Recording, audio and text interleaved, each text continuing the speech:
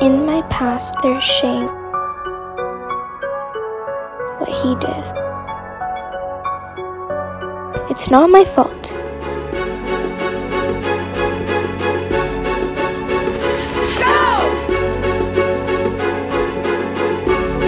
I didn't do anything wrong.